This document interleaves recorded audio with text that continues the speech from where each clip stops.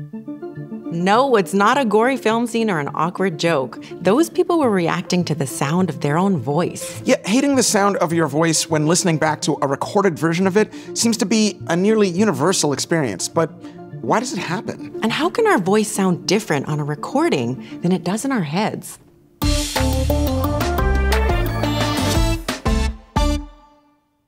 So, why does our voice sound different than what we're expecting when we hear it played back to us? The key to understanding this question is understanding how our hearing works. When a sound is made, it creates an airwave that travels towards us. When it hits our ear, it vibrates our eardrum, which causes our ossicles to vibrate as well. These ossicles then vibrate a snail like structure known as the cochlea. Inside the cochlea are tiny hair cells that turn those vibrations into electrical signals that go to our brains and are translated into sounds that we can understand. This is called air conduction, and it's probably the type of hearing you're most familiar with. But there's another way we can hear sounds called bone conduction. When we hear using bone conduction, our skull vibrates. This allows sound waves to bypass the ear canal, eardrum, and ossicles and vibrate the cochlea directly. Bone conduction has a quirk, though. It causes sounds, like our voices, to seem lower. The human skull has what's called a resonant frequency. A resonant frequency is when a vibration of a particular frequency is amplified because of the shape and size of an object. When it comes to our skulls, its shape makes lower sounds louder and more prominent. So, when we speak, our voice vibrates our skull and sends those sound waves to the cochlea, which makes our voice sound lower than it actually is. Our brain assumes that the lower bone conducted version of our voice is what we sound like, when in reality, it's a higher pitch. Not only that, but our inner voice, the voice we speak with inside our head, reinforces this bias. This is because it's based on the lower bone conducted version of our voice that we hear when we speak. Go ahead, say some things to yourself right now with your inner voice. That voice you hear is not totally accurate. Hearing our own voice on a recording makes it sound higher than we think we sound, and that's hard to stomach because it conflicts with the version of ourselves we thought we were. And now we're going to test this idea out with an experiment that is mostly being kept secret from us. Hello. Hi. Hey, man. Hey.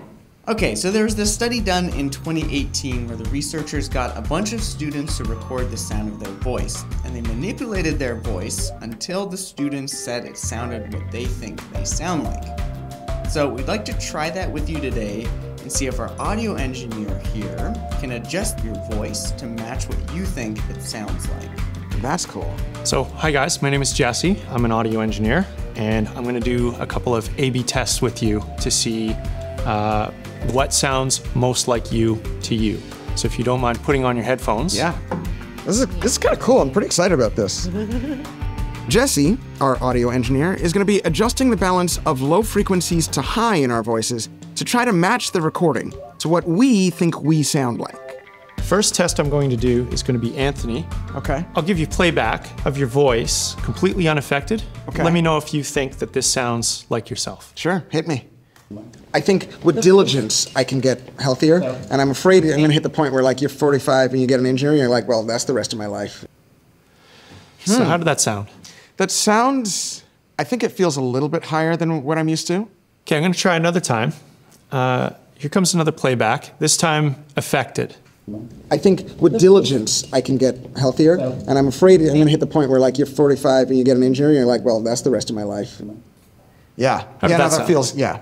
As I'm speaking, it feels like the right pitch. It's, it feels deeper and kind of. How close to yourself, when you're just speaking normally, um, does this recording now sound? That sounded accurate to me. I don't sound. so you think the second one, the affected version, Yeah. sounds more like you? Yeah, it, that for sure. Yeah.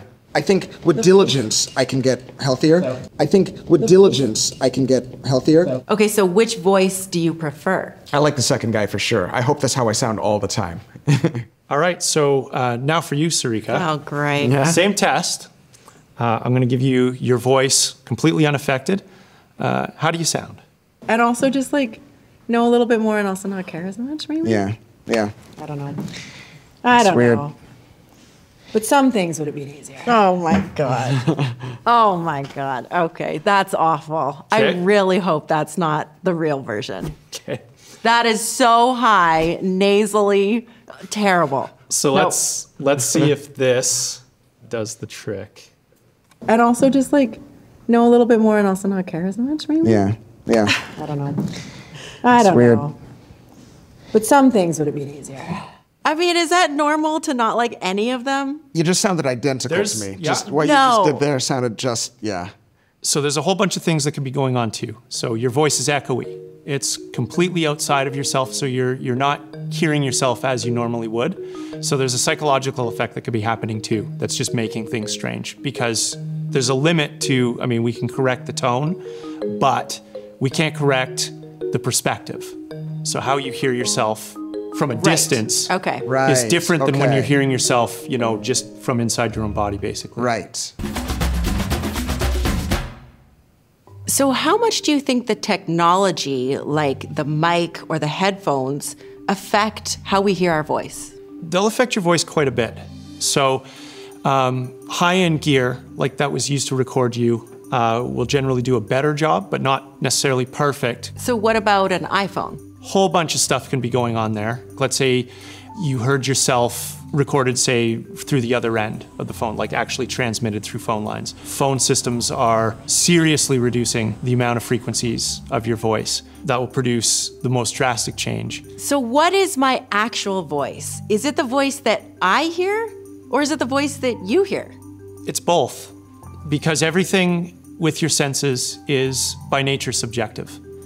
So the way that you hear yourself is different from how other people hear you, but equally as valid, and to you, it's accurate. So, it's almost like it's in the ear of the beholder. Did you write that one down yesterday? No. That's pretty good. oh my Actually, God. Good. I apologize. You know, one of the cool parts about making the doc was getting to talk to all of these voice experts. And an idea that came up a couple of times was, was this idea called paralanguage. The idea that when we speak, we're providing a lot more information than just what's in the words we're saying.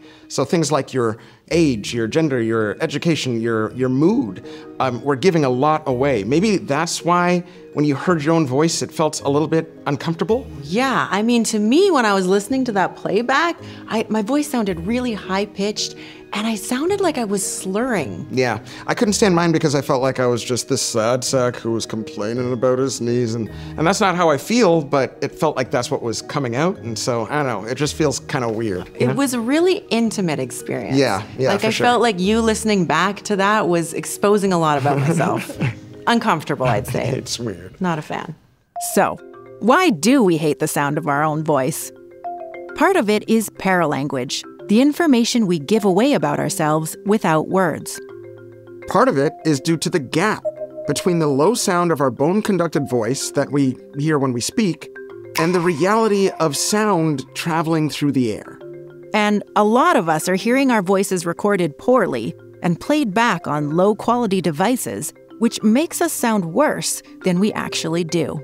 Well, I think if there's one takeaway from this for me, it's that I still, even knowing the science, I still really don't like the sound of my voice when I hear it recorded. People love your voice. You have a great voice. I think you've got a really nice one too. I don't know why you're so down on yours. It sounds great. Thank you. That's Yeah. very kind. Yeah. So, I mean, I guess I hope most people will have the same experience. You might not like the sound of your voice, but we like it, and we like you. Thanks for watching. Thanks, guys. It's so low. I just hear Kermit the Frog like Nice. How did you feel about that? Terrible. Okay.